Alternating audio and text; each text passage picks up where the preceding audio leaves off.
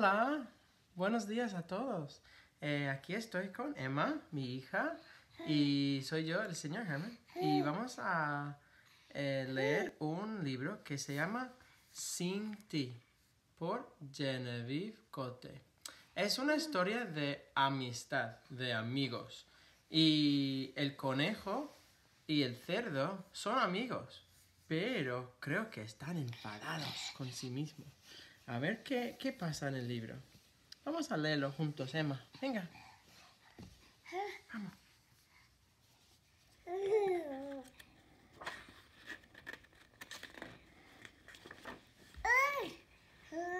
¡Para! ¡No corras tanto! Apártate. Esto es mi pista de carreras.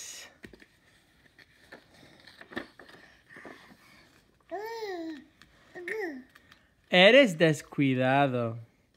Y tú, un exagerado. Ah. Ya no quiero jugar más contigo. Fenomenal. No voy a, echarte de menos. Mm, están enfadados. La rara también. Yo puedo leer un libro sin ti.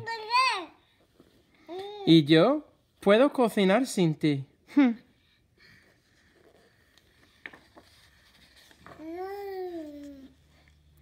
Yo puedo jugar a disfrazarme sin ti.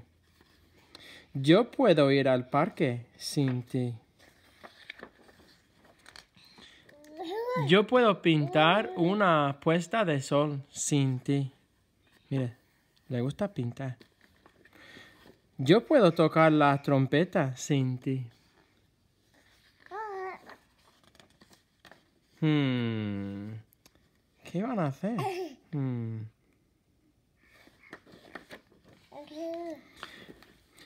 Pero mi libro es más divertido cuando lo leo contigo.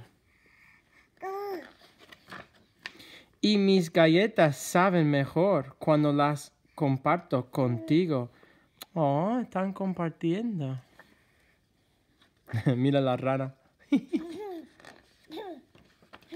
Yo puedo hacer un número de magia cuando estoy contigo. Uh, mira las flores que han salido. Yo puedo marcar un gol cuando estoy contigo. ¡Gol! Y la rana también está feliz. y mira, una mariposa. Más colores. Perdón. Mis colores son más vivos cuando te pinto a ti. Mira la rana. Mi música es más dulce cuando toco para ti. Oh, mira qué feliz está. Cuando estoy contigo, una carretilla puede ser un avión. Wow. Lo han convertido en un avión para volar. Juntos podemos volar, tú y yo.